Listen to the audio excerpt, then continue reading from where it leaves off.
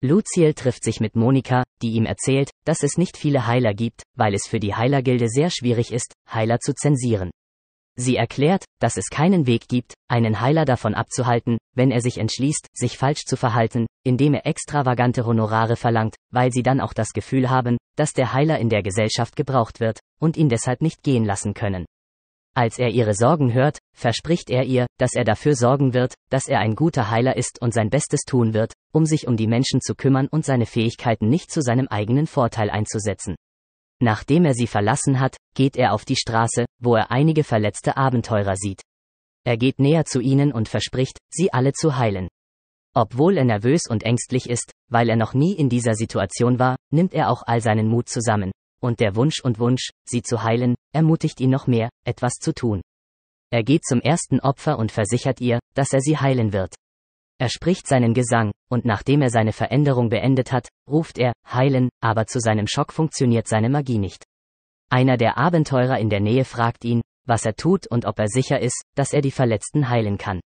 Er entschuldigt sich für das, was passiert ist und sagt, es sei sein Fehler gewesen.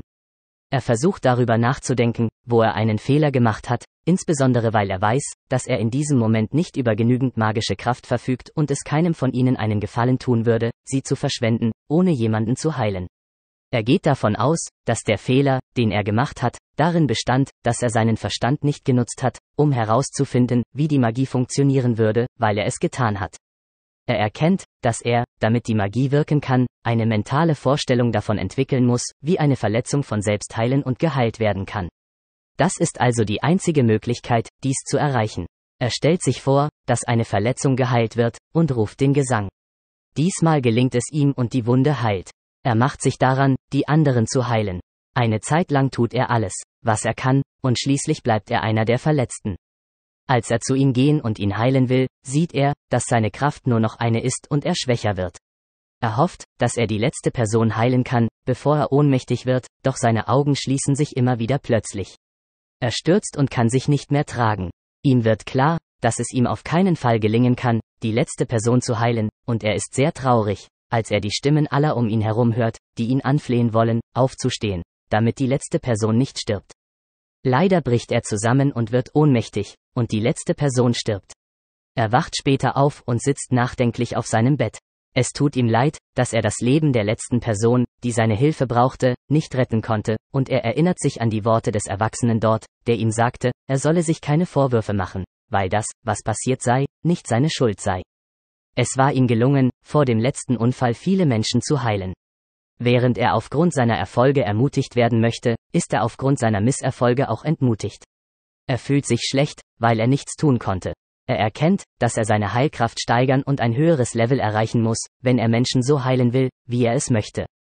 Er geht davon aus, dass die einzige Möglichkeit, dies ohne Probleme erfolgreich zu tun, darin besteht, sich bei der Abenteurergilde anzumelden. Er hat das Gefühl, dass er, wenn er das tut, schnell aufsteigen und seine Kraft steigern kann. Er geht zur Gilde und sobald er die Gilde betritt, ist er erstaunt darüber, wie die Gilde aussieht. Es sieht wunderschön und erstaunlich aus und er möchte ein Teil davon sein. Er trifft die Dienerin und teilt ihr mit, dass er sich bei der Gilde anmelden möchte. Sie sagt ihm, dass er willkommen ist und gibt ihm ein Formular zum Ausfüllen. Er nimmt das Formular und füllt die Informationen aus. Er gibt ihr das Formular zurück und sie sagt ihm, dass er über Kampfkunstkenntnisse verfügt und sich daher bei der Gilde anmelden könnte. Er fragt sich, ob er sich nicht bei der Gilde hätten anmelden können, wenn er keine Kampfkunstkenntnisse hätte.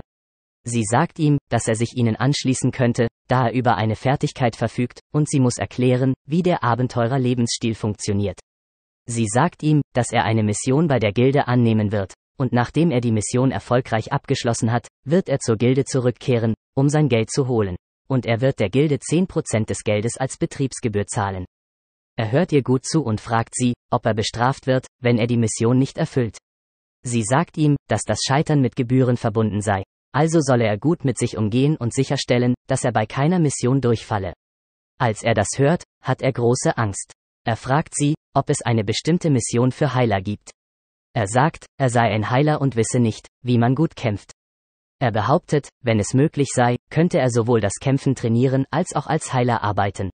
Er fragt sie, ob ihn dort jemand ausbilden kann und ob er die Ausbildung mit seinen Diensten bezahlen würde. Sie sagt, dass sie es zuerst ihrem Meister sagen muss. Sie bittet ihn, zu bleiben und auf sie zu warten, während sie den Gildenleiter anruft. Sie kehrt in wenigen Sekunden zurück und kommt mit einem riesigen Mann. Als Luciel den Weg sieht, als er hinschaut, bekommt er große Angst. Der Mann ist so riesig und er sieht unheimlich aus. Er versucht sich wieder zu sammeln und erinnert sich daran, dass es nicht das erste Mal ist, dass er eine gruselige Person sieht. Denn als er in der anderen Welt war, war sein Chef auch sehr groß und gruselig und es gab niemanden, den er hier treffen konnte Welt, die schlimmer sein könnte als die andere Welt. Also beschließt er, so zu tun, als ob es ihm gut ginge. Er tut so, als würde er den Mann anschauen, der ihn Kind nennt, der Mann fragt ihn, was er will, und er erklärt erneut, dass er sich fragt, ob er als Gildenheiler in der Gilde arbeiten könnte, während ihn jemand in Kampfkünsten ausbildet. Der Mann fragt ihn, warum er sich zum Kämpfen ausbilden wolle. Er erinnert ihn daran, dass er ein Heiler ist und dass Heiler nicht kämpfen lernen müssen. Luciel erklärt, dass er das deshalb tue, weil er niemanden zur Last fallen möchte. Er sagt, dass er so schwach ist, dass er getötet wird, wenn er einem Monster gegenübersteht, und dass er an diesem Tag sein Leben nicht verlieren möchte. Der Mann sagt ihm, dass er es gehört hat und fragt, wann er weitermachen möchte. Er sagt ihm, dass ihm eine Münze als Lohn ausgezahlt wird und dass die Ausbildungsgebühr von seinem Lohn abgezogen wird. Der Mann sagt ihm, dass er sofort weitermachen könne, aber Luciel sagt, er würde gerne in fünf Tagen wieder weitermachen. Der Mann fordert die Pflegerin auf, sich um ihn zu kümmern. Die Dame stellt sich als Nanaela vor und lächelt ihn breit an. Er lächelt sie sofort an und nennt ihr auch seinen Namen. Plötzlich spürt er, dass Augen ihn ansehen. Er dreht sich um und sieht einige Männer, die ihn ansehen. Der Mann vor ihm hustet und der Mann verlässt seinen Rücken. Er geht davon aus, dass der Mann auch eine hohe Position in der Gilde einnimmt, und stellt sich als Brot, der Gildenführer, vor. Luciel schätzt Brot und geht erfüllt. Er kehrt nach Hause zurück und ist froh, dass er in ein paar Tagen stärker werden kann. Während er sich daran erinnert, was für eine Zukunft ihn erwartet, betritt Monika mit seinem Essen den Raum. Sie erzählt ihm, dass sie sein Essen mitgebracht hat und fragt ihn, wie sein Tag sein werde und ob er die Dinge erreichen könne, die er tun wollte. Er erzählt ihr, dass er zur Gilde gegangen sei und sie sich bereit erklärt hätten, ihn in Kampfkünsten auszubilden. Sie ist sehr stolz auf ihn. Bevor sie geht, fragt er sie, welche Stufe er als Heiler erreichen muss, um als Profi anerkannt zu werden, und sie sagt ihm, dass er als Profi angenommen werden kann, wenn er Stufe 5 erreicht, bevor er 20 Jahre alt ist. Wenn er darüber nachdenkt, muss er jedes Jahr eine Stufe hinzufügen und fragt sich, ob er das schaffen könnte. Sie sagt ihm, dass er sie zu einem Date mitnehmen wird, wenn ihm das gelingt. Er ist schockiert, das zu hören, und er erwartet nicht, dass sie das sagen könnte. Er fragt sich, was sie mit einem Date meint, und ermutigt sich, dass er es erreichen wird, damit er sie zu einem Date mitnehmen kann. Eine Woche später nahm er sein Training wieder auf. Sein Crashkurs in heiliger Magie verlief wie im Flug und er ist endlich fertig. Er kehrt zur Heilergilde zurück, wo er Kururu trifft und sie dafür schätzt, dass sie bei ihm bleibt und ihm hilft. Er sagt, dass er fertig ist und gehen wird. Sie sagt ihm, dass er sehr gut und ein großartiger Heiler ist, so sehr, dass auf ihn sogar noch Arbeit wartet, bevor er mit der Steigerung seiner Affinität fertig ist. Er schätzt sie wieder und versucht zu gehen, aber sie sagt ihm, dass er sie auch schätzen sollte, wenn er Lumina sieht. Er verspricht ihr, dass er bei seinem nächsten Besuch nach Lumina sehen wird. Er geht zur Gilde und sieht sofort, wie mehrere Augen ihn anstarren. Er sagt, die Blicke kommen ihm bekannt vor, als würde er an seiner Vorstandssitzung teilnehmen und niedrige Umsätze erzielen. Er geht zur Wärterin, und diesmal ist es eine andere Wärterin und nicht Nanaella. Er stellt sich vor und sagt ihr, dass er der neue Abenteurer ist, der mit Brot trainieren soll, also sagt sie ihm, er solle in den Untergrund gehen und er werde das Trainingszentrum finden.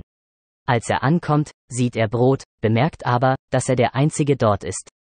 Brot wirft ihm einen harten Blick zu, der ihm Schauer über den Körper jagt, aber er will nicht schwach wirken, also tut er so, als ob es ihm gut gehe und begrüßt Brot.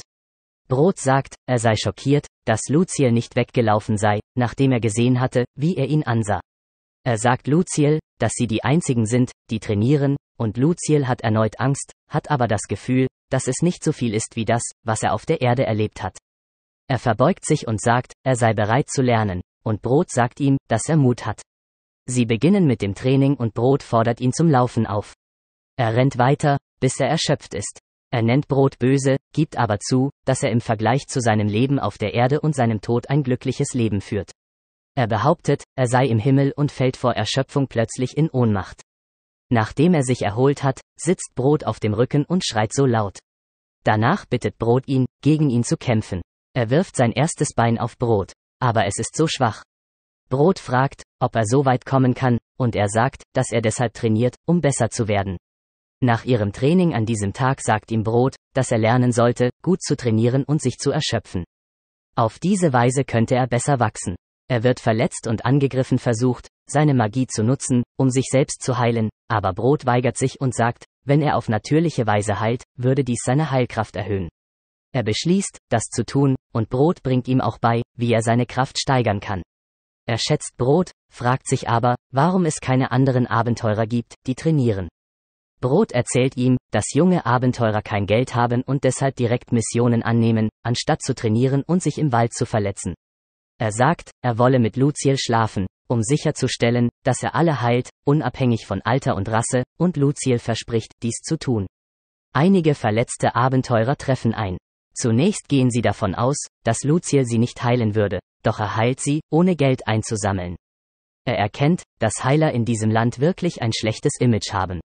Er kehrt zu Brot zurück und teilt ihm mit, dass er nur acht Menschen gleichzeitig heilen kann und dass er die Zahl erhöhen möchte. Brot sagt ihm, dass dies möglich ist, wenn er sich erschöpft und sieht, wie weit er gehen kann.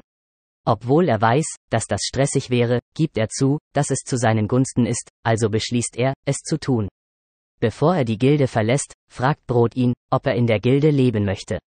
Er fragt sich, was er diesen Gefallen schuldet, und Brot sagt sogar, dass er dreimal täglich Essen bekommen würde. Das scheint ein Jackpot zu sein. Also fragt er, was Brot als Gegenleistung bekommt, aber Brot sagt, dass er nur seine Abenteuer will, damit er nicht mehr unnötig stirbt. Luciel verspricht, sein Bestes zu geben und fragt auch, ob er auch jeden anderen Menschen heilen kann, der zu ihm kommt. Brot sagt, dass die Welt ein besserer Ort sein wird, wenn jeder Heiler wie Luciel wäre. Als Luciel sieht, wie sich die Dinge in der neuen Welt zu seinen Gunsten entwickeln,